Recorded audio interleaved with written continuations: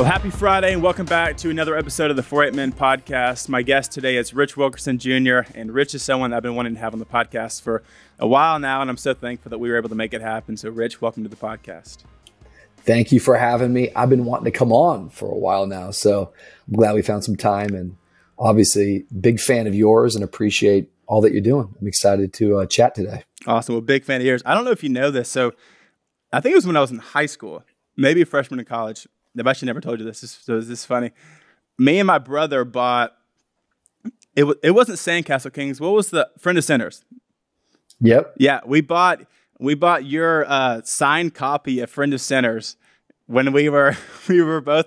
I think I was maybe a freshman in college, maybe whatever. It, whatever. It was, it was early on, and we both. I still have it in my in my house. Actually, your signed copy of of, of Friend of Sinners. I, that book changed my life, bro. It makes me so happy to hear that. Um, how did you get that? It's just like I, I was selling signed copies, or or we were somewhere. Like that's amazing. No, so I started following you after you preached. Um, uh, what's what's the message called? Is it is it Jesus in the wheelbarrow? Or oh my god, the, the one yeah. about the wheelbarrow.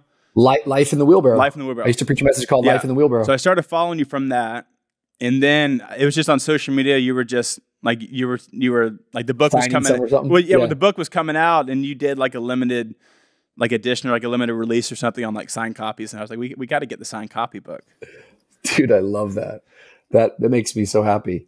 Um, I'll sign any book that I've ever written for you, man. well, I'll, I'll address it personally to you. Oh, that means a lot.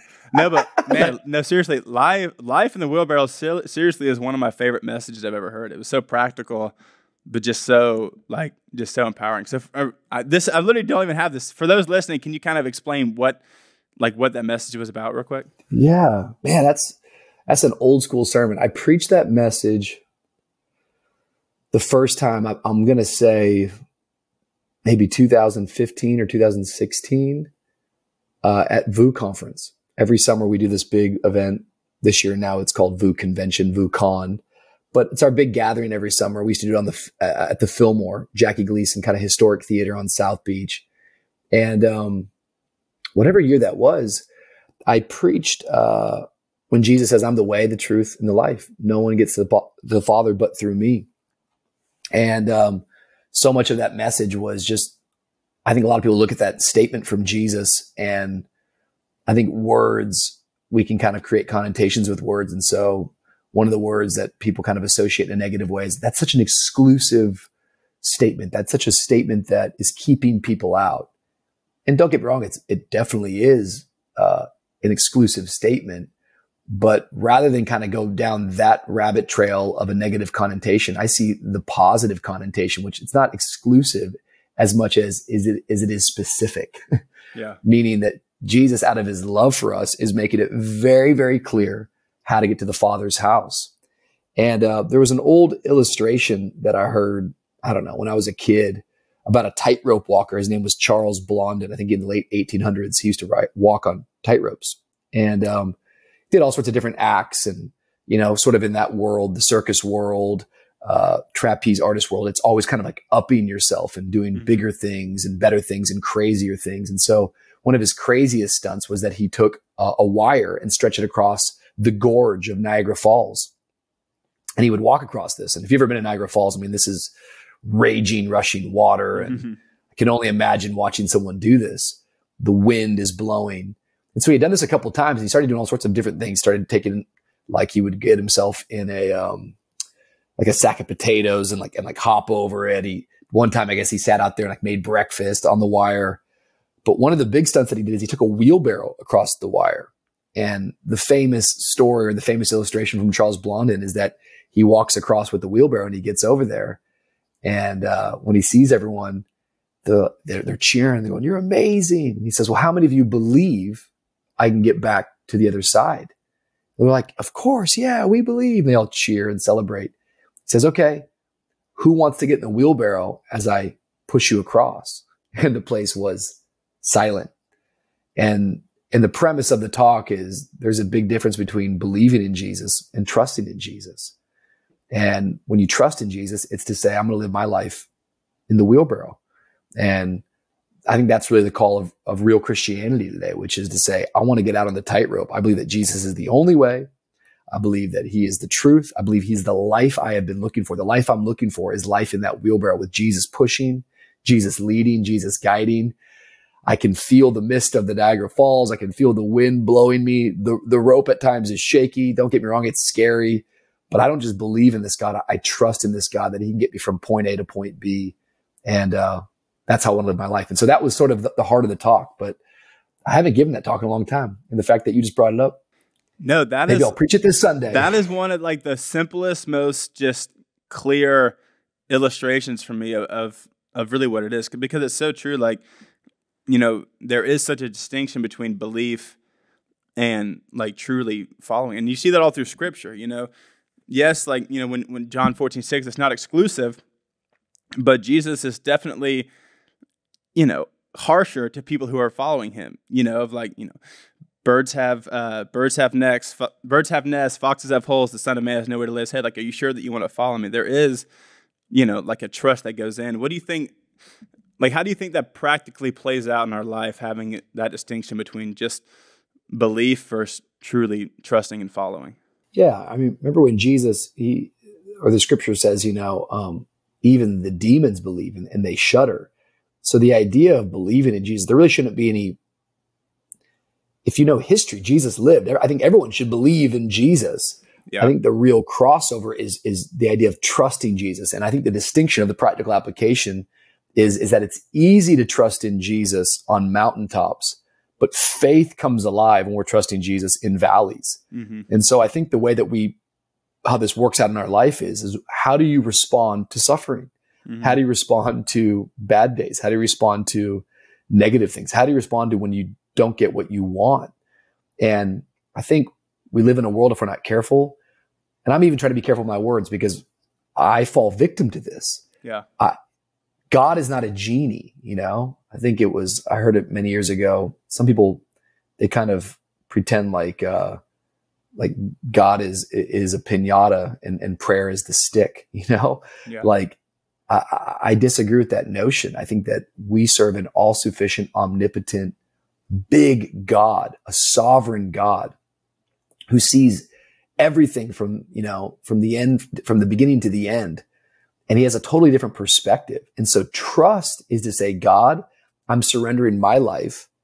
And at times I might even feel like I'm falling off the wire. At times I might even be convinced that I have fallen fully off that wire. Mm-hmm. But even as I'm falling off the wire, I'm reminded that this world is a temporary world. And the faith journey is one to not walk by sight, but to walk by faith. Faith to me is, is the absence of sense. Now faith is being sure of what we hope for, certain of what we cannot see. And so when I try to practically apply trust to people, it's going, I'm going to find a sense of peace and contentment regardless of my circumstance, regardless of how things go for me um, I'm not living my life for how they go for me. I'm living my life for the glory of God.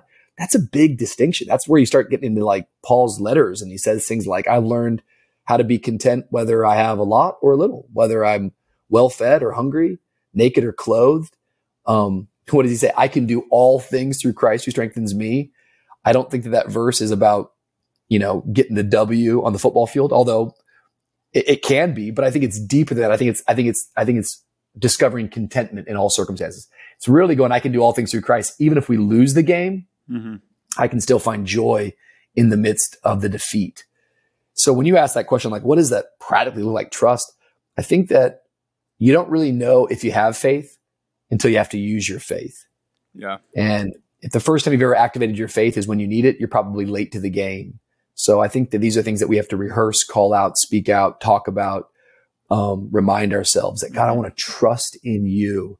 It's easy to trust God in blessing. it's it's hard to trust God in the burden or in the lack or in the suffering. And so, uh, practically for me, it's when things don't go my way. That's when I have to activate. Am I living my life in the wheelbarrow or am I living my life for me? So, if you've been listening to this podcast or if you've been following me on social media, then obviously you know that I'm a big fan of Ice Baths. I love them because they're great for my recovery. They help me with uh, my mental clarity. They help reduce my inflammation. They help my HRV. There's really so many great benefits, and I love it because it's a challenge for me. You know, it's tough to stay uh, under the water for whatever however long you're wanting to. It's adrenaline rush, honestly. Before I'm about to get in, I get my blood gets pumping, I get super pumped, and I love um, just the results that I've seen uh, physically from doing the ice bath, but as well just mentally. So I've been doing ice bath for a while, but I just got an ice barrel, and it's a cold therapy training tool that makes it super easy to incorporate ice baths in your routine. And if you're listening to this and you don't really know a lot of the benefits of cold therapy or of what an ice barrel can do, it improves your recovery and it gives you better performance. It improves mood and brain function, helps alleviate depression and anxiety. It activates the nervous system, helps with pain management, it reduces inflammation, and it improves your heart rate variability. But what makes Ice Barrel unique and, in my opinion, better than all the other ones is how you can sit upright in the barrel. I think it looks good. It does not take up any space. I love the the, the way that the barrel looks. Honestly, in my backyard, it's uh, lightweight, it's portable, and there's a spigot on the bottom that you can drain. And I like that you can get one for as little as $90 a month. It's durable, it's compact, it's made in the USA, and it's made of 100% recycled material. And so I worked with Ice Barrel to get y'all $125 off so that you can try it out and see if you like it as much as I do. I threw a link in the show notes, and you'll see me sharing more on social media too. You can go to icebarrel.com slash Christian and use code Christian to get $125 off. Ice Barrel offers a 30 day money back guarantee and 100% satisfaction. Again, that's icebarrel.com slash Christian and use code Christian to get $125 off. Get colder, feel better, and let me know what y'all think. Man, that's so good. I definitely, you know, I think we all fall victim to that, like you talked about it. If you, you know, with, with Paul's letters in 1 Corinthians 15, he's explaining the gospel, and he says that this gospel saves you if you hold firmly to it, otherwise you've believed in vain. And those conjunctions are so, I guess, so powerful. That's what we talk about a lot. It's like if and otherwise. So it's like, yeah, this this saves you if you hold firmly to it. Otherwise, you bleed in vain. So there's, you know, like you said, Jesus was a historical. You know, he truly lived. So you can you can believe he lived. So how do you, you know, what's that distinction between believing he lived versus just believing, you know, all this in vain? Because it, it, it really is such a scary thought of like, you know, I can go do all the things. I can be at church every Sunday. I can, you know, pray, but you know, has that faith actually been activated in my life, or is it something that maybe I've even just convinced myself that I believe? I don't know. It's it, it's such a scary thought just reading, you know, the if and the otherwise in that in that verse. Absolutely, I think that what you're landing on, I, I love the ideas of all the conjunctions and yet, but so, you know, yeah. all those things. It's like here is the truth and if that truth takes root in your life, here's what the fruit will look like. And so, um, I think I would encourage anybody out there who's listening. Uh, perfect love casts out all fear. And so I don't think we have to be afraid. I think that we should be aware and yeah. we should walk in self awareness and we should say, all right, if there's areas of my life that there seems to be wrong living, why would there be wrong living? Probably because somewhere there's wrong believing. And before we can attack the behavior, we have to always get to the source of it, which is the heart. And faith, uh, the Spirit of God at work in us, takes root. And so the idea of believing in Jesus is an act of faith that I'm going, all right, yeah, I believe that he lived, but now I have to actually consider do I believe he is who he said that he is?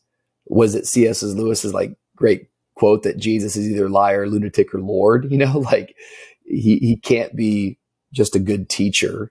He's he's either a liar, he's either crazy, or he is who he said that he is.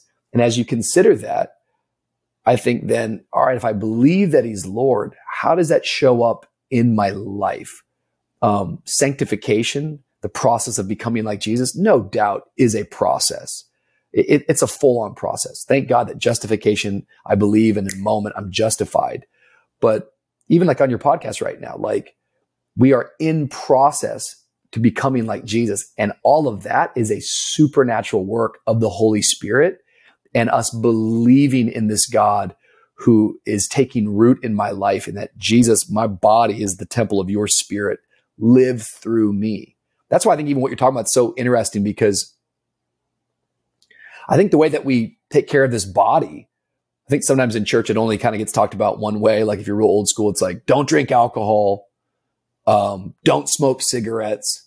And if you're real old school, don't tattoo your body. Why would you put a bumper sticker on a Ferrari? You know, like, and um, aside from the tattoo thing, I think the other things have quite great merit to have conversation. But if we're really going to talk about this temple of the Holy Spirit, it, it goes far beyond just, you know, over consuming alcohol or giving yourself away to an addiction of cigarettes. It's talking about, man, like this body's, this body's going to decay and die but there is something quite spiritual about my body. This is the thing that's housing my soul for the time being. And so my body's not in charge. I'm going to make my body submit. My flesh is going to submit. I'm going to discipline my flesh and I'm going to manage it and steward it for the glory of God. And so that's why we talk about things like fitness and working out. It's not just physical. It's quite spiritual and it's, it's unto the glory of God. And I think that, uh, what you're doing is, is so, so cool because to me, it's just one of those areas about what do I really believe? Do I really believe this thing is the temple of the Holy Spirit? All right, then why isn't my behavior showing forth? Because there would be the conjunction. If I believe that, then or so go and go and do this. Yeah, that's so good. Well, something that I love that you do on Sunday mornings before, um, you know, you go preach early in the morning. You'll post on social media, and you'll say church before church, and I love that little. Yep I love that tagline. So is that kind of, you know, what you just explained? Is that kind of what you're meaning when you say church before church? Yeah, for me, church before church was something that we began. Man, I've been doing it. We started our church in 2015 in a little middle school in Wynwood. If you've ever been to South Florida or to Miami, I should really say, Wynwood is like the arts district, really cool space. And we found this middle school and we launched with 11 a.m. and a 6 p.m. service. And uh, we actually just hit the seven year mark. But man, like we didn't really know what we were doing. Uh, God was so gracious towards us, and you know we had to bump in early because we had to, like load in all the production stuff. So I, I, think their call time was like 5 a.m. for an 11 a.m. service. Just we didn't know how to set the screen up, and there was a band rehearsal, and but then we go at 11 a.m. and then we didn't have service until 6 p.m. at night. And so then the, like the load out was like at 11 o'clock at night. So we had these two massive like windows of like loading in and loading out and, and developing teams. But God was gracious towards it. The church began to grow. And I think we launched in September. By the time we got to January, I think we were in three services. I think by the time we got to the following September, we were in four services. And I think by the time we got to that following January, so now we're in the year and a half mark, I think we're at five services. And bro, when I started preaching five times, this is back in like 2017. I, I just, it was taking me such a long time to recover on Monday and Tuesday I also had this little like accident. I think it was right around 2016 where I was in Shreveport, Louisiana. Shout out to all the Louisiana people. Um, but my, my wife, Christian and I are very wise. We, uh, we found the greatest thing that was ever created in Louisiana, our wives, and we married them. Um, but, uh, my wife's from Shreveport, not far from where you guys are. And I was actually at home for Thanksgiving. I think it was 2000 and I think it was 2016 and I was on one of those like Gator. Is that what they're called? Like I'm, I'm looking at you, like you should know, like, like a Gator ATV golf cart. Oh yeah, yeah, yeah, yeah, But it was like a souped up golf cart with uh-huh. my brother-in-law Dakota, and I'm like, I don't know why. why. I, I was like pretending like I thought it was like a jet ski, and so I'm trying to like spin it out. And bro, I took a corner. We flipped this thing. I messed my neck all up. And literally that fall, that injury, this is always kind of like how God works too. Like this really bad thing led me to go into like physical therapy, a chiropractor and I also started going into the gym. And I met my trainer who now goes to our church. His name is Manning Sumner. And uh, he has a gym in Miami called Legacy. And I didn't know that however many years ago that was, 2016, 2017, that, was going to become a start of a brand new pattern and habit in my life. Well, once I got that going, once we hit the five service mark, I was just waking up on Tuesdays so like lethargic and tired. I was like, I've got to get more energy produced. And so I kind of started studying like things that like, you know, we live in our little subculture. So preachers are like, this is the hardest job in the world. I'm like, is this really the hardest job in the world? I feel like, you know, NFL athletes go out there every Sunday and beat their bodies to a pulp and somehow they do it week in and week out. I think I can figure out how to preach every week. Yeah. But what I started learning was about like NFL athletes, it's like on game days, they're they're waking up still doing some sort of cardio a lot of times. The day after an NFL game, they're they're in the gym first thing doing doing different types of workout, which is, you know, a lot of it's cardio, a lot of it's recovery things. And so I was like, maybe on Sundays I need to get going before I start preaching. And that's what began church before church. I used to go into the gym by myself with my brother in law, actually. We'd pump worship music and I would do a 45 minute cardio workout and I'd come in for the 9 a.m. service like, let's go, you know? That's awesome. But we started to kind of put it on social and we started calling it church before church. And before you know it, it sort of just became a big habit of my life, which is now when I preach in Miami, yeah, I'm in the gym at 6 a.m. and there's a few guys that show up with me and it's setting the tone. We play worship music, we pray together, and it's sort of like the service before the service. And so we always just called it church before church. But like I'm saying, it's not just a physical thing. It, it really has been a very, it's a spiritual thing for me. It's about me getting my mind, body, and spirit prepared to minister for the entire day. Yeah, that's awesome. And you feel like that's that like that's really played a difference in, you know, the lethargic after after your sermons.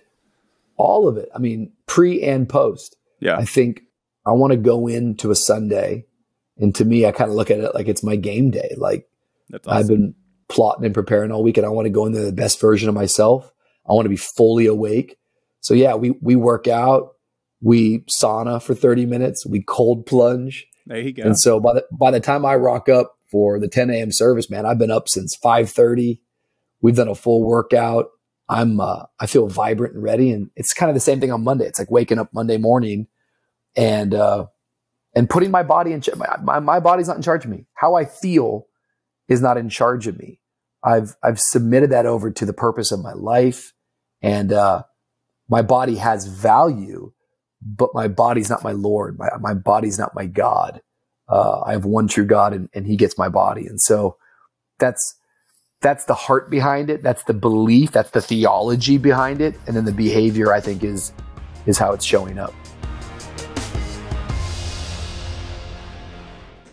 So if you're like me, maybe use your phone as an alarm clock, or you know, you just like to check the time throughout the night, uh, which is what I like to do. And I used to really check social media before I went to bed. I would check, you know, social media. I would check the news, and it would just create stress or anxiety or whatever it be for me. So instead of doing that, I've been checking the Abide app before I'm going to sleep, and it's really helped me to not be anxious, to not be stressed, to not, um, you know, be worrying about the worries of our world and really just to fill myself with the spirit and peace of Christ. And same thing with the mornings. I used to check social media, I used to check the news, and instead of doing that, I've been using the Abide app and opening that in the mornings when I've been stressed or anxious, and I've been listening to the meditations, and it's been a comfort for me.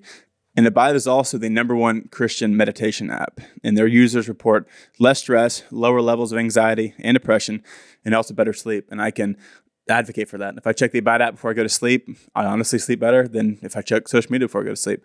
And same thing in the mornings. If I uh, start my day with the news, it's going to make me more anxious. It's not going to help me be at uh, at peace. And if I check the Abide app, I'm ready for the day. I'm comforted, and I'm not stressed or worried about whatever is going on in the world. And for a limited time, our listeners will get 25% off a premium subscription when you text MEN to 22433. And their meditations start at two minutes long. They're easy to fit in your schedule, and they feature topics like overcoming anxiety, managing stress, addiction and recovery, finding forgiveness, and so much more. And at the end of the day, you can find deep rest and abide bedtime stories based on the Bible, and they're great for kids and adults alike. Before I'm going to sleep, I like the bedtime story ones because, like I said, they just put me at ease. And in the mornings, I like the meditations. I like being in silence. I like, um, you know, really just honing in for a couple minutes on um, you know things that I need before I start the day.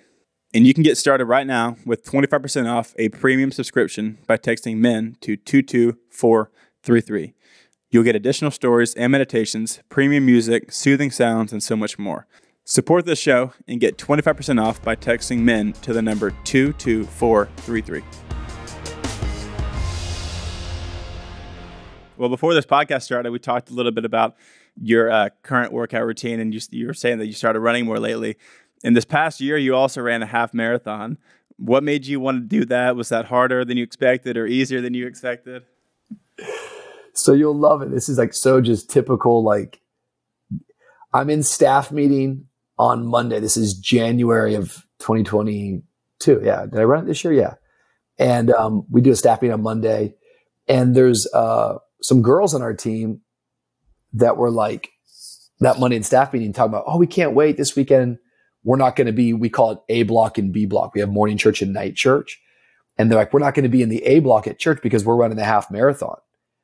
And the girls that were running it, like I know them well. And like I wouldn't, I never knew them to be like, you know, gym rats by any means. I'm like, well, Yeah. hold on, y'all are. I'm like, how long's a half marathon? They're like, it's 13 miles. I'm like, and y'all are running that? They're like, yeah, yeah, we've been training for it. I was like, bet. I'm like, these girls on my staff. I'm like, if they can do this, you're gonna have to. I, I can do this. Like I'm gonna do this. You know what I mean? Yeah.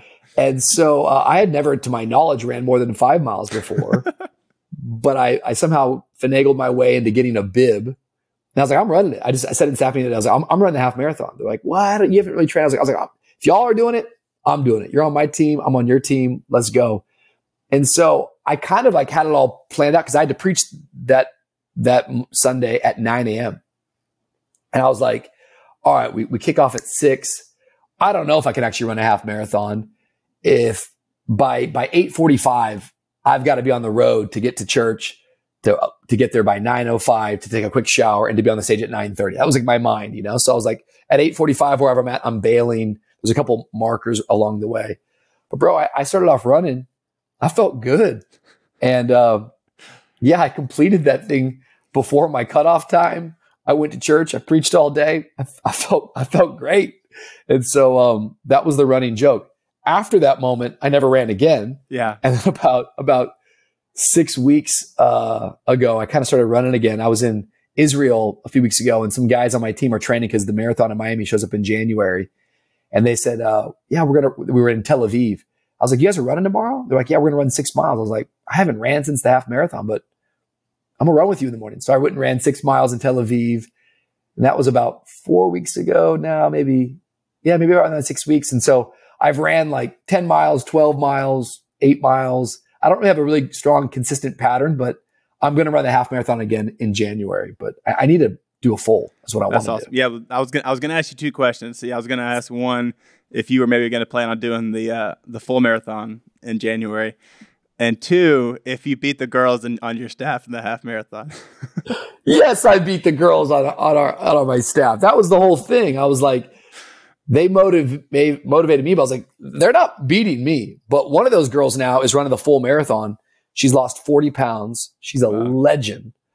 Uh, I want to run the full, bro. I just think like, I think I actually have to train for that. You know what I yeah, mean? you, you definitely I have don't to train like- for that.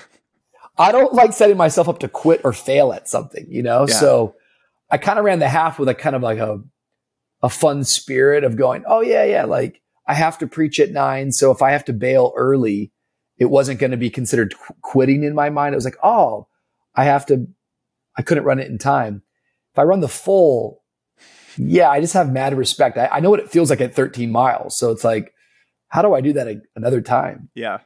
Would you would you say that you're a competitive person? Yes, yes, yes. That's why. That's why I don't play a lot of sports anymore because if I'm not playing basketball consistently, I'm not going to go out on the court with you and get destroyed. Yeah. It's why I played golf a whole lot in my life. Uh, after college, I haven't played golf in a long time, and I still love golf. I will come back to golf, but I'm not coming back to golf until I can beat some people. And I have no time with three kids to play golf. So yes, I'm a very competitive person. I'm That's- into pickleball right now. That's so funny you just said that because my next question was I was going to say I know that you love going to sporting events. I was going to ask if you played any sports growing up. I played. So I grew up in Tacoma, Washington. And then in 1998, we moved to Miami, Florida. And so I played everything until about 1998. And then that move to Miami, played football my freshman year. And then I moved schools my sophomore year. And all of that is where my testimony kind of starts to kick in because I just, I think all the moving, I, I, I kind of quit organized sports, which was not a smart move on my part. But I grew up playing basketball, football, soccer. Um, so I, I, I loved all sports, played all sports. And uh, from sophomore year on, I just sort of was out of it. I played water polo my junior and senior year, uh, Awesome. going to school in Fort Lauderdale, which was really cool. And these days, yeah, I just I, I'm in the gym and I play pickleball right now. So I'm ready to play anybody in pickleball. And if I lose, that's because you're a lot better than me. But uh, Next time I see you, we'll have to play pickleball. yes, we do. And you should prepare to lose money and and lose some and lose some pride. Okay, well, well, I, I'll, I'll take that as a challenge because I'm super competitive as well, and I, I, I usually don't Lose I know in you are. I usually don't lose in pickleball either, so we'll uh, we'll have to make it happen. Do y'all play pickleball out there in West Monroe? We don't have a dang court here, man. Uh, we we have we have those like makeshift tennis court pickleball kind of stuff, but uh, no. Whenever whenever we go to places, we um you know, well, if we go to, uh, we were in California last year on Sadie's family vacation. We did a huge pickleball tournament. But when we go to Florida, So when we go to Florida to go see my parents, they, there's a court there that we'll go play at. Um, Bro, my neighbor took his driveway, if you can imagine this, and just flattened it all out a concrete slab. And for a year, we just played with like chalked out concrete slab and a portable net. Now he had like the sport court guys come in and they put Yeah. the green and they painted the lines. oh, that's awesome. And we went and hung a massive light up in the tree. So, brother, we'll start playing like from 10 to midnight. It's just his front yard. There's Yeah. no fencing. And, bro, we will play gay. It's hilarious, but it's actually a great pickleball experience.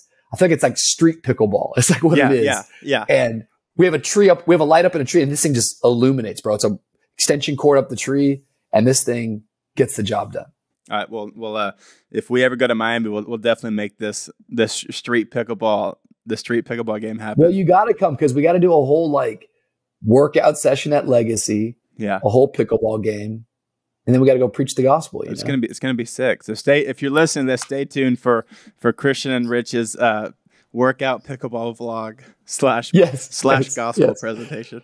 The people want this, man. You know Oh, they really do. How? What are the parallels between the paddle and Christ? Like you're, you're like trying to preach Jesus Yeah. through the pickleball paddle. You know, it's like all right, we get it, man. That's so funny.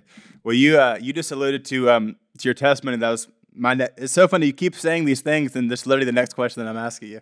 Um, so you're growing up. Your dad was a pastor.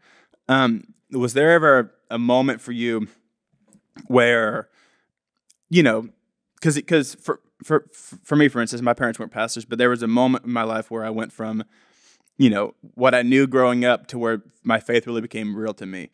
Were you kind of always just, you know, in the church, you knew what you were doing, or was there a moment where you know you had a defining moment where your faith really became real to you, and you had a had a change in your life?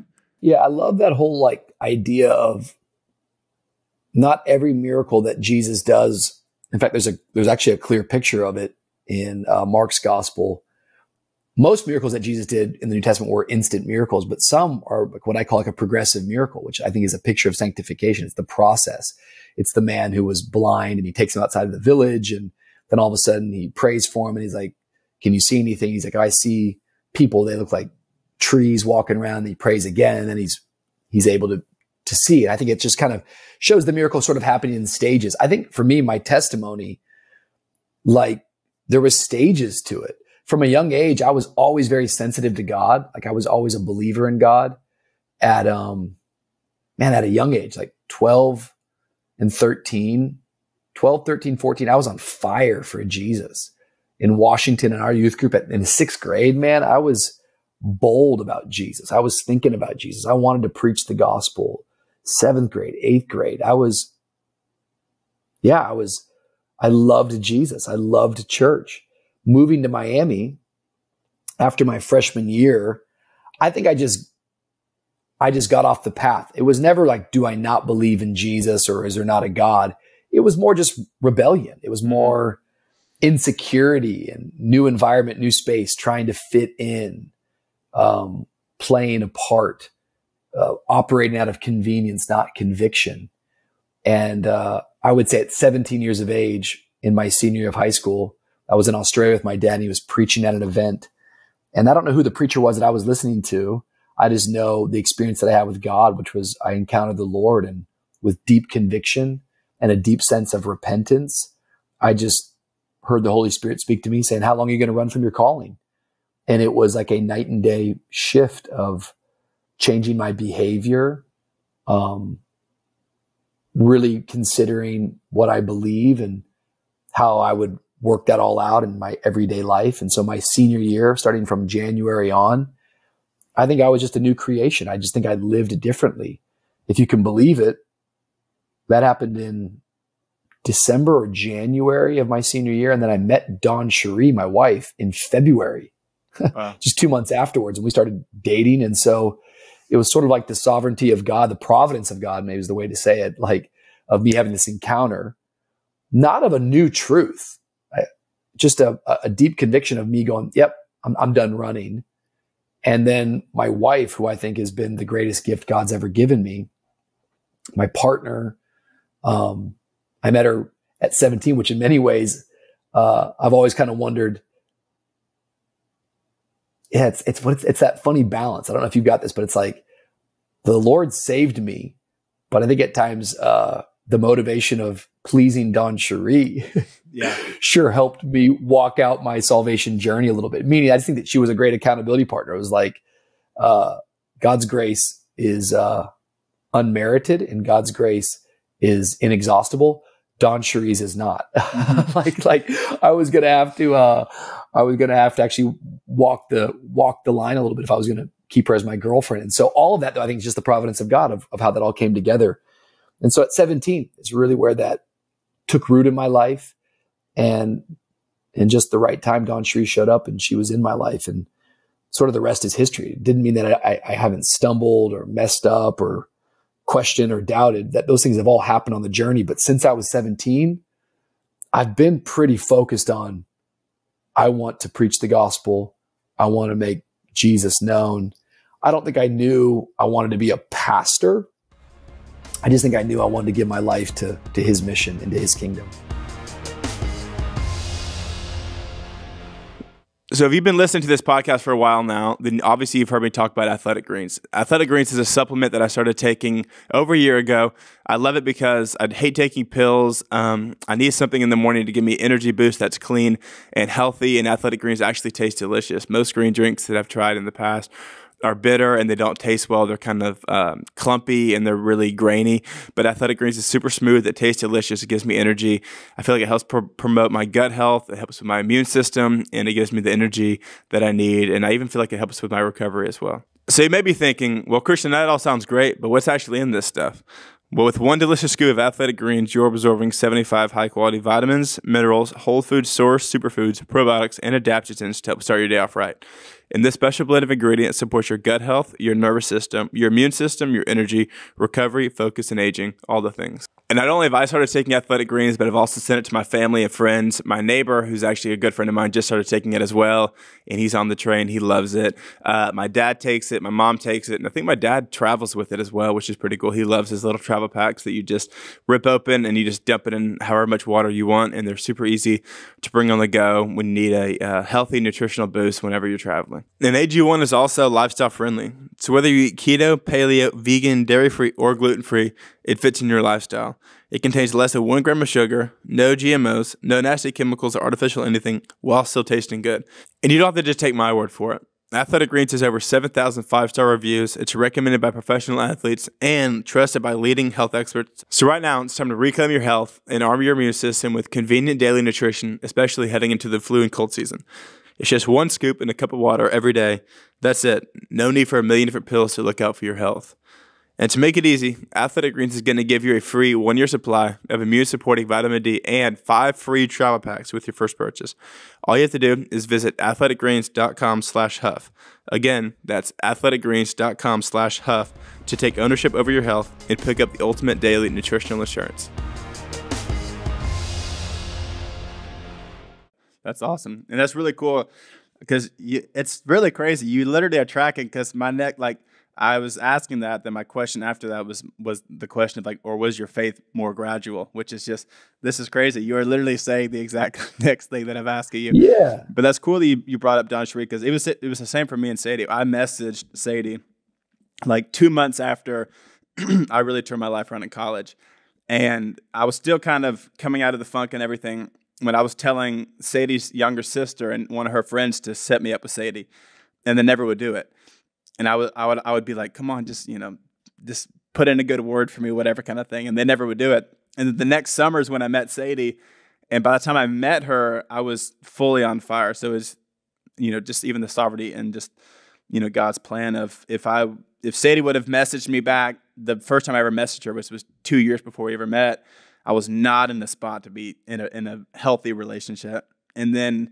if her if her sister and friend had put in a good word for me, then I still was not in the best spot. So it wouldn't have been good. So I feel like God was just laughing every single time I kept trying to like, you know, put myself, you know, put myself in there. What what did you DM her? You're like, what's up, girl? Is your boy Christian? No, so I was at Passion, and this is actually funny. So we were at Passion conference, and so my life really took a turn in uh like August, and this was in January.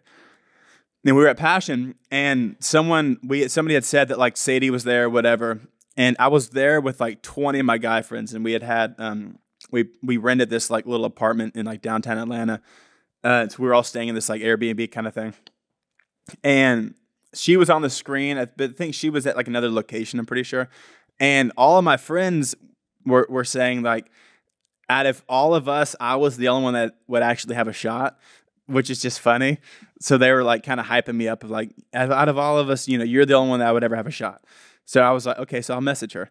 So then I DM'd her like, hey, um, you know, I think you're beautiful. I love what God's doing in your life. Yada yada yada. Um, so that was in January of like 2017, and then we didn't meet until like 2019.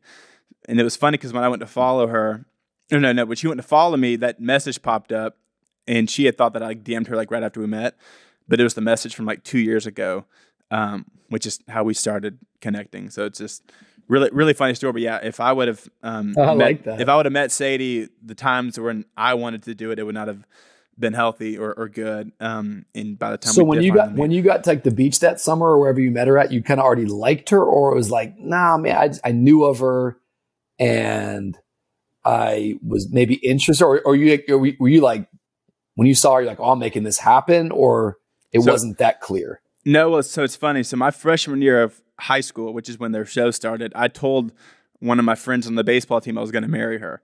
Um, oh my! Kind of like jokingly. Um, yeah. So then, yeah, yeah, more so jokingly. But I think this girl's super dope, super cool. Like I'm gonna marry this girl. Yeah, A girl like this. Yeah, yeah. So I had um, so my after my freshman year, that was when I met her younger sister, and I'd always thought that she was, you know, really pretty. Uh, not her sister. I really, th- I always thought Sadie was really pretty. Um, but so Bella's when, really pretty though. Yeah, no, yeah, we're saying yeah, that, yeah, you know? yeah, Bella. Bella, if you're listening, I'm sorry. Yeah, um, like the, the oddest conversation. No, but I mean, like, sorry. No, no. I so when Bella. I Bella, so when I met so when I met Sadie, I was with my two girl cousins, and Sadie was with three of her girlfriends. And the whole night I was hanging out with her girlfriends because I was like, I'm not gonna you know, I don't want to be too imposing. I don't want to, you know, push anything. Um, but when we left, I did shoot my shot. So she had, for some reason, dude, she had, she followed Chance on Instagram. She followed all my, and she didn't follow me. She followed all my cousins except me. And I was like, this is the first time I've ever met her. And I was like, hey, you know, you follow everyone else in my family except for me. Just, you know, why is that? And then she kind of like played it off, like, oh, I don't know. But she intentionally did not follow me because she thought I was cute. So there we go. There, so that that that's the reason behind that. So then she followed me. Then that's know, why I had to stop following you for a little bit. I actually have I actually have you muted because I can't look at you. Completely, bro. I had to mute you this past year. Like, so dumb. I'm sorry. Oh, yeah, I'm sorry. sorry. Yeah, it was so. It was when I met her on the beach. Um, I was like, I don't know if she, you know, noticed me or saw me or whatever, but I think she's awesome. And if if if, yeah. if that would work. so, I, we were messaging in June, asked her on a date. Uh, we we DM'd for like a few for a few weeks, and I got her number, and we started talking on the phone um, throughout the week. And then I asked her on a date, and she said September. So we talked on the phone for like two months before before we ever went on a date. I drove up to Nashville, um, and spent the weekend up there. So that was fun. So yeah, so really, I mean, like you said, Sadie's been a great accountability for me. Just yeah, really walking that line, like you said, like, yes, I still want to, you know, obviously please God, but a byproduct of that is also pleasing my wife and, and trying to be a good husband and a father. And that's, I think that's just for everyone who's listening, it's like, that's the kind of person you want to align yourself with. Like, yeah, I, I want to, I want friends like that. I want mentors like that. I definitely want my spouse, but like, I, you want people that are calling you higher. And DawnCheré, wasn't judgmental or legalistic towards me. She just had a standard. I just knew what the standard was going to be. If I was in a, and I loved her so much, wanted to be with her so much. It's like, that ain't going to work. I can't, this is not just some girl. This is the girl that I think God has planned for me. And I need to, I need to do right by all of this. And I also think just like for all the dudes that are listening, um, yeah, I feel like there's like a fine line between the scripture says he who finds a wife finds a good thing. And I always think it's funny. It's like there's a fine line between, you know, searching and stalking, but yeah. it's a fine line. like, yeah. like, meaning I just love, bro, you, you DM'd her two years ago. Uh, thank God you know, God's in control. So here comes the trust factor. I don't just believe in you, Jesus. I trust you. She didn't respond to my DM. Uh, the people I asked for her to reach out, they didn't reach out. And two years later, God in his perfect timing, he works it out. Uh, but I don't think that you did anything wrong there. I think yeah. you have to play your part and trust oh, that God's sure. going to play his part. Sure. And I think, I think a bunch of dudes, they're kind of like, yeah, yeah, gotta, gotta work it out. And it's like, but you never DM'd. You never asked a friend to talk to her. You, you didn't shoot your shot on the, and they never ever step into, um, I think what maybe God has planned for them because there is this idea of God's sovereignty and then man's responsibility. And I think I'm just trying to land on the idea of like, your, I called DawnCheré for three months without her ever calling me. Mm-hmm. Like she had this, she was raised where it's like, you don't call boys and we weren't official. So like, yeah, yeah, you, are gonna have to call me. Oh, okay. So it's like, that's a kind of a weird, is this yeah. going good? I just only yeah. ever call you. Yeah. Uh, I was, I wasn't used to any girls ever doing that with me, but I was, uh, gonna keep pursuing her. You know what I mean? Like, yeah. Um, on paper, that might kind of sound strange. Like, dude, you just keep calling this girl. I'm like, yeah, because feel like this is the one I'm supposed to be with. And so I'm going to be, I'm going to pursue. I'm going to, I'm going to keep searching until she tells me not to. And, uh, God in his perfect timing works it all out, but there was certainly responsibility on my end. Yeah. We joke about that narrow line between like stalking and like romantic. Like, yeah. You know, like, like, I don't like, want to like perpetuate yeah. something wrong here. I'm just going, yeah. I don't know. It's just like, yeah. dude, like, yeah, well, you gotta, well, you gotta well, fall on your face. Yeah, well, because you could be like, if you called her every day for three months, someone would be like, oh, that's a little much. But then someone else would be like, oh my gosh, that's so romantic. like it's it all it's all about it's all about the perspective. Like when it when it works, it's romantic. When it doesn't, it's like, dude, you you're you're clinical. We, we need to we need to get you checked out. That's that's so you. true. It's all it's all about the recipient. Yep, it is. So you started VOUS Church in 2015. Um, yep. You know what were you doing before that? Because I really don't. I don't really know about much about what you and DawnCheré were doing before you all started VOUS. This podcast is sponsored by Faithful Counseling. So, about two and a half years ago, uh, right when COVID hit, I was still in college. It was my senior year. I was going to be graduating in May. COVID hit in about March. So, I had about two months of uh, online schooling, and then I was going to be out in the real world. And honestly, it was stressful. Um, me and Sadie had just gotten married that November, and I kind of was just wrestling with, I did not know what I was going to want to do. Um, I travel a lot with Sadie, but I was still like, what am I, you know, going to do? What am I going to be passionate about? And it was really just an interesting time of, you know, needing somebody that I could talk to, whether it was uh, a counselor or just someone that could just listen to uh, me talk about uh, fears or anxieties or anything that I was going through, and really having someone that I could talk to helped me a lot. It helped ease a lot of the worries that I was uh, experiencing that I never really experienced before, and helped me uh, just have confidence in places that I did not know that I really necessarily even needed confidence. And maybe you're at a spot like what I was in. You know, life is throwing you a curveball uh, because life is full of twists and turns, and it's important to show up for yourself and for your loved ones through all of life's struggles. And maybe you don't have somebody to talk to like I did, and I want to offer you uh, faithful counseling. Faithful counseling will assess your needs and match you with your own licensed professional therapist who is also a practicing Christian. And faithful counseling is not a crisis line. It's not self help. It's professional counseling done securely online. And if you're wondering why you should try therapy, maybe if you've never tried it before, um, my best piece of advice for therapy is you really get to talk to somebody who is going to listen, who's going to hear you, and who's not going to judge you for what you're going through or maybe for the crazy things that you might say. They're going to listen to you, they're going to provide feedback, but it's not going to be judgmental. Really, just having somebody that can listen to you and provide insight and provide help and speak into uh, the things that you're going through in life. And you can also schedule video or phone sessions weekly, and you don't have to have the camera if you don't want to. And faithful counseling is also more affordable than traditional offline counseling. And if you need financial aid, it is available. And we all need somebody to talk to. If you don't have somebody, Faithful Counseling can be there to help. And you can even visit their website and you can read real testimonials from real people. And Faithful Counseling user AL says, he phrases things in a way I can understand well. He knows how to prioritize issues and address them effectively and with empathy. And right now, you can visit faithfulcounseling.com slash huff and get the faith-based counseling that you deserve. They've even got a special offer for 4 Men podcast listeners. Right now, you can get 10% off your first month at faithfulcounseling.com slash huff. Thanks again to Faithful Counseling for sponsoring this episode. Yeah, so DawnCheré and I, we met in uh, 2002. So, in fact, this February will mark 20 years of us hanging out. We've been That's married awesome. for 16 years. So, uh, we graduated. We went to school in Cleveland, Tennessee, at a Christian liberal arts college there called Lee University, um, not far from Chattanooga. Took DawnCheré four years, took me five years. Hello. And uh, we went to school together. We had the best time ever. We were really, really involved at school and involved in campus life and worked jobs there in Cleveland. And we got time to graduate and we knew we wanted to go into the ministry, but we weren't clear as to where that was or what we should be doing. And we actually had some really great opportunities uh, that were offered our way, but we were home for the holidays. It must have been December of 2006. And uh, we came to Miami to see my parents. We were newlyweds, probably, I guess, six months in or four months into being married. And I was just with my parents and went to church that Sunday. My parents were doing uh, at a church that they were leading Assemblies of God church, really kind of in uh, the inner city of Miami in North Miami, uh, very diverse church. And I don't know, I, I was just there that Sunday, Sunday, and I really just felt led of the Lord. Best way for me to explain it was I just felt led of the Lord to come and help my dad.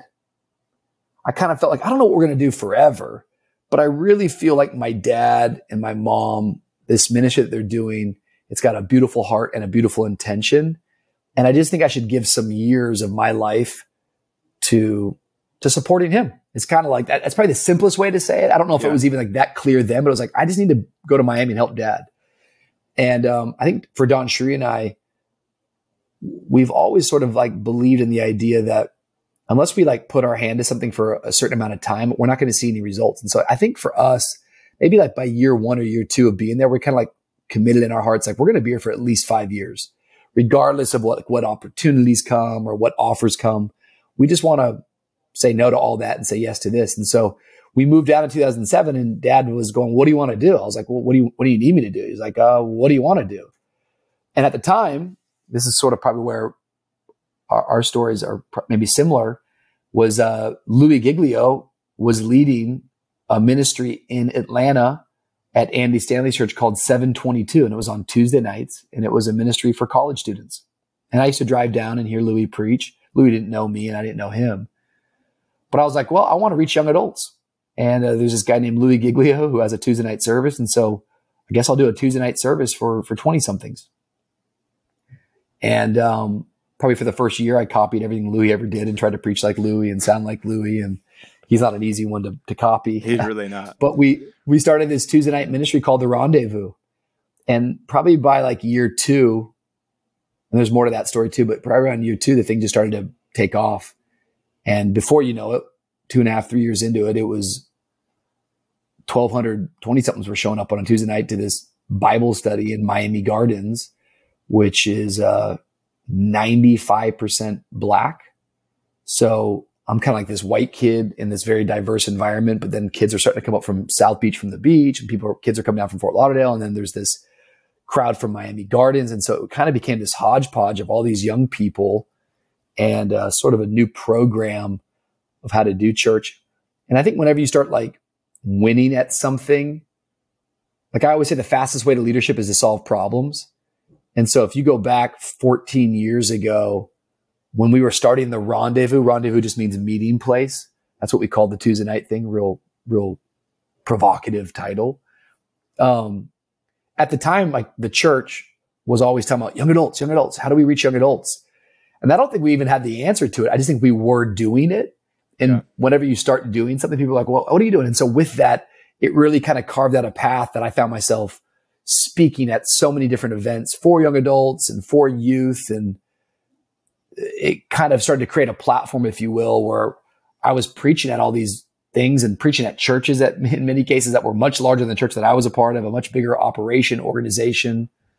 And um, I think with that, it kind of people in the in the church world, I, was, I started to kind of maybe become known to some degree.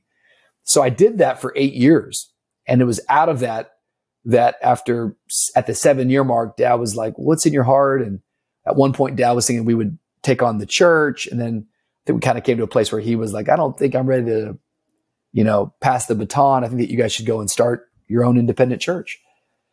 And that was even kind of awkward as we were figuring that all out. But eventually we all kind of came to an agreement. I was like, all right, yeah. He's like, stay in Miami. And so we went about 30 minutes south of him and we launched VOUS Church, which was short for rendezvous. And that's sort of how that all kind of came about. But before we had launched the church, we had started a conference. We were making music. Uh, we were doing pastors networks, so many different things. And so the church sort of began with somewhat of a profile or somewhat of slightly being known, but uh, it's obviously evolved and grown into what it is now today, and it continues to become something. So, yeah, I think there was about eight years of just serving at my dad's church, Trinity Church, and I did all the. And I was the executive pastor at, by the end there, leading all the different ministries and grateful for all those opportunities and all those experiences. Yeah, that's awesome. I did not, I did not know that Rendezvous started from your dad's church. That's so cool. Yep, totally. That's awesome. That's it was awesome. it was under dad's forever. It was yeah some of the, some of the best years ever, bro. Tuesday night, like doing ministry like that with your friends, and yeah, and it was kind of like um, it was really fun because yeah, you never know how beautiful the seasons are, right? You're in until you get out of them. It feels like so. It's always like mm-hmm. looking back, like that was awesome. What was so cool is that we were given so much freedom to be like creative, and there wasn't much to lose. Now today, it's all like there's eyes. And so it's like, bro, we were just yeah. taking our shot every week, just doing the craziest stuff. And, uh, there wasn't like a fear in the world. It was just like, let's go for it. Yeah.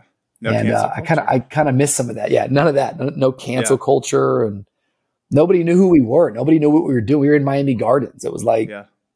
people were just excited to hear about Jesus and people were getting saved. That's awesome. Well, you, um, you know, like I said earlier, you're a husband, you have um, you know, three kids, you're you pastor a large church. For someone listening and maybe who follows you on social media or, or who knows who you are, are there any? Because I'm I'm even just interested to know. Are there any like unique disciplines that you put into place to help train yourself spiritually for, you know, for all that all that you have to do? Yeah, I mean, I think I firmly believe in habits and practices. Um, a simple way to define habits are, you know, habits the thing are the things that you do um, almost involuntarily. Mm-hmm. Uh, I preached a message years ago. What do you do when you don't know what to do? You do your habits. So when we find ourselves in situations where like, I don't know what the next thing is to do, when you have healthy habits and healthy practices, uh, doing those things, those involuntary things, if they're healthy, it'll kind of help create pathways for you to do the things that you, it'll, it'll create vision. It'll create brain waves. It'll create um, new thoughts. So for me, some of those habits are for certainly working out. Um, it's a big one for me. It's not just about my physical. I, I've learned that working out for me is really a mental exercise. So a beautiful spiritual practice that I think people should lean into is the spiritual practice of meditation. And um, I believe in meditation. Uh, I'm just not very good at it. But what I have discovered is that working out produces the same results for me in many ways that meditation does. Yeah. The idea of meditation is to, is to, is to harness and focus your, your mind mm-hmm. that it's not filled. I think so many of us have such levels of anxiety because we're so distracted. We're so, we're everywhere in our mind and we can't bring it to one focused moment. What working out does is that when you get your breathing levels to the point of where I can't breathe or when you're pushing something like a sled and your heart rate is jacking up, what it does is it's actually focusing your mind that you're not able to think about yesterday. Mm-hmm. You're not able to think about tomorrow. You have to be right there in the present. And so any practice that can bring you to the present is a beautiful, beautiful practice for spiritual formation. What does the scripture say? It says, be still and know that I am God. So many people don't know who God is because they never get still enough to learn it. It's like, is God still speaking? Of yeah, God's speaking. It's not a speaking problem that God has. It's a speed problem that you and I have. Mm-hmm. We're moving too fast. We're jumping from one thing to the next. So meditation is about getting still. And as I get still, I can hear from God. I I'm learning. I do two minute meditations as part of my daily routine.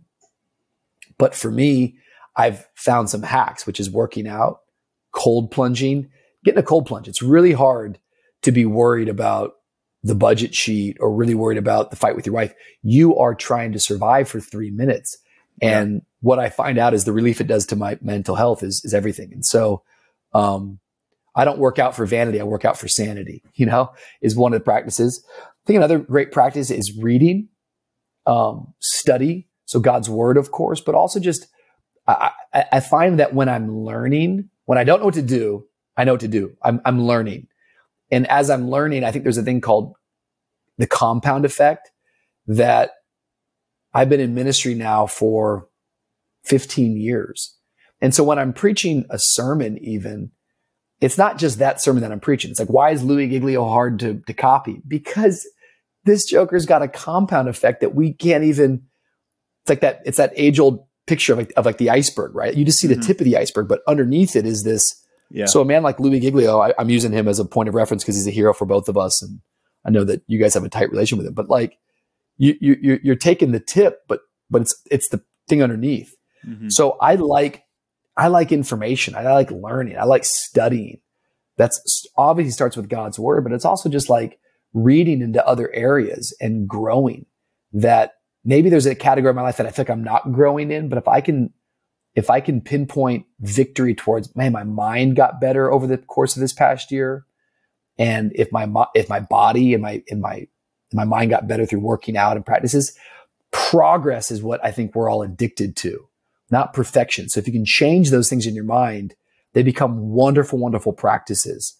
So for me, simple habits in my life is working out, which is good for my physical body, but also good for my mental health, studying of the scriptures and, and learning are, are both great things for my mind and for my soul. Um, and then the other little practice that I think is just simple is like DawnCheré and I are in a small group. We call it VOUS Cruise. And it's now been seven years of doing that. And I just think as, as time goes on, I, am just realizing just how important that is. Just the, I call it a practice because that's what it is. Mm-hmm. I don't always feel like going to crew. Oh, we're going to go sit down. It's not always deep revelatory meetings. It's not always, it's just the practice of subjecting myself to a circle of people that you have to look at in the face and say, Hey, how you doing? Here's my prayer request. Here's my praise report it's a practice, it's formation. I think one of the great tragedies of COVID is the disruption of what it was to the church. I don't think that people don't believe in Jesus anymore or don't believe even in the church. I think people actually believe in the church, but it's like the gym. I don't know anybody who doesn't believe in working out. Yeah, of course, I believe working out is good. But when you stop working out for a year, you can still believe that it's valuable, but you have lost the habit of of practicing it. And I think that's what's happened with, I think church is a practice. I think crew is a practice. It's something that I have to, I have to do consistently. And it's not what I'm doing occasionally that matters. It's what I'm doing consistently. And I think the practices for me that I'm committed to when it comes to my formation would be physical fitness, which I think creates results of meditation. I think it's prayer and study and then learning in some other spaces. And then I think it's community, church life, and and VOUS Crew life, and it's made a world of a difference for me.